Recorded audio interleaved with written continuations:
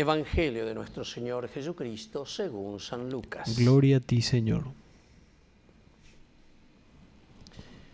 Jesús fue a Nazaret, donde se había criado. El sábado entró, como de costumbre, en la sinagoga y se levantó para hacer la lectura. Le presentaron el libro del profeta Isaías y abriendo encontró el pasaje donde estaba escrito, El Espíritu del Señor está sobre mí, porque me ha consagrado por la unción él me envió a llevar la buena noticia a los pobres, a anunciar la liberación a los cautivos y la vista a los ciegos, a dar la libertad a los oprimidos y proclamar un año de gracia del Señor. Jesús cerró el libro, lo devolvió al ayudante y se sentó. Todos de la sinagoga tenían los ojos fijos en él. Entonces comenzó a decirles, hoy se ha cumplido este pasaje de la escritura que acaban de oír. Todos daban testimonio a favor de él y estaban llenos de admiración por las palabras de gracia que salían de su boca. Y decían, ¿no es este el hijo de José? Pero él le respondió, sin duda ustedes me citarán el refrán, médico, sánate a ti mismo. Realiza también aquí en tu propia patria todo lo que hemos oído que sucedió en Cafarnaún.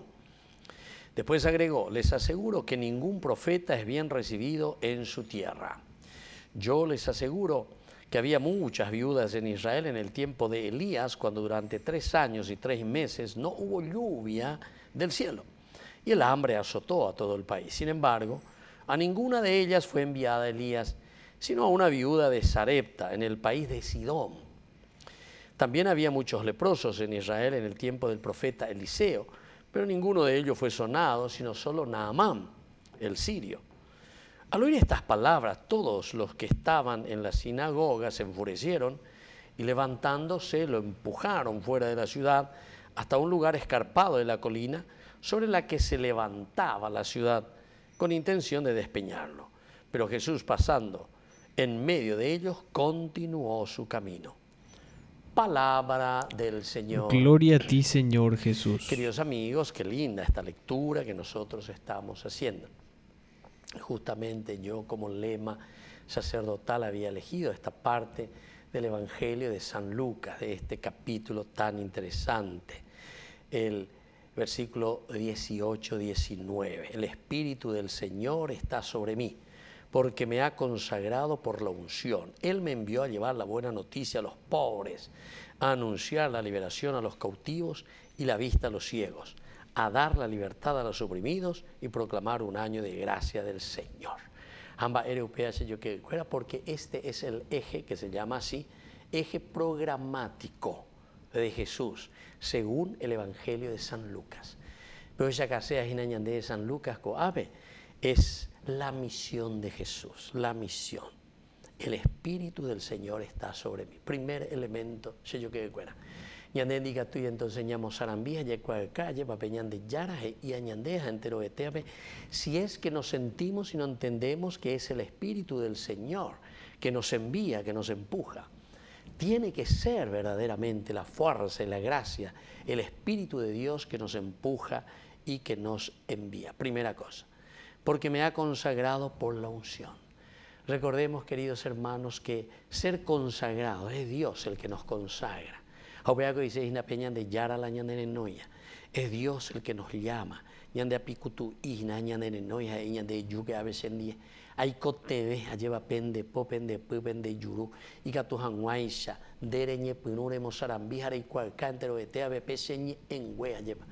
Es decir, el Señor que nos llama y dice que necesita de nuestra vida, de nuestro pensamiento, de nuestra vida cristiana, es decir, a eso le llamamos testimonio, ejemplo, honestidad, amor, generosidad, entrega. ¿Entienden, queridos hermanos? Esto es lo que verdaderamente entonces el Señor nos pide. Y eso quiere decir que el Señor nos unge a cada uno de nosotros. La unción del Espíritu, la unción de la presencia de Dios nos hace ahora sus enviados. Upeana entonces con lleva de cuñan de piti de dale tres que ese que ella poque Mozambique caque. Pero después continúa, Él me envió a llevar la buena noticia a los pobres.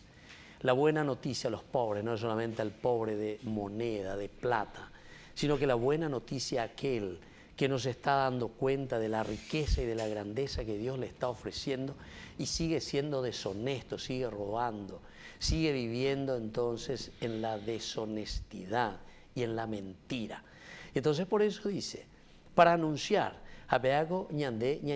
porque si no estamos cometiendo el famoso pecado de omisión. Si nosotros no estamos diciendo, si nosotros no estamos hablando, si nosotros no estamos predicando, ay de mí si no evangelizara, nos dirá San Pablo, ¿verdad? Sale desde adentro. El Espíritu del Señor está sobre mí, opeará, anga lleva, eh, se mañana, se mañana, mañana, y de esta manera anuncia la liberación a los que están cautivos, tantos que están cautivos, aprisionados por su egoísmo, tantos que están aprisionados, queridos hermanos, simplemente por aquello que ellos quieren hacer y lo que ellos desean hacer y como ellos desean hacer. Entonces, y que se bala. Entonces tenemos que rezar, pedir, acompañar, decir, anunciar. El profeta anuncia y denuncia. Y bueno, queridos hermanos, este evangelio es tan largo, no puedo deleitarme, ¿verdad? Hablando de todo esto que dice el Señor y nos pide a nosotros. Termina lastimosamente que justamente el pueblo no quiere entender. Qué duro es el lenguaje de Jesús. Entonces, ¿qué preferimos? Preferimos darle una patada a Jesús, despeñarlo, tirarlo, lo empujan. Quieren llevarlo ahí en el despeñadero para hacerlo desaparecer, porque no podemos escuchar esta palabra del Señor que nos llama a la honestidad y que nos llama a hacer bien las cosas, a vivir la vida cristiana. El día en que nosotros no veamos más niños en la calle, indígenas sentados, gente que no tenga que estar luchando y peleando por su tierra, o personas que entran, invaden tierras, etcétera. ¿Por qué eso sucede? No es, queridos hermanos, simplemente como muchos dicen, con algo bandido me me, con algo, entonces zurdo ahí la mitad. Zurdo y derecho y todo lo que yo quiera. Los de derecha parece que entran con mayor fuerza, entran con armas y matan y nadie le dice nada, ¿entienden? Entonces hay que estar atento a lo que decimos. Escuchemos lo que nos dice el Señor y lo que nos pide, ¿verdad? Entonces, hoy de una manera especial, ya escuchar su palabra en todo caso, no rechazar a Jesús, al contrario. Yaguapuya, calcular, doikea lleva. Ku galleta ataña ya mope cocido. Para poder entender la gracia de Dios que hoy nos pide una verdadera conversión. Que así sea. Que así sea.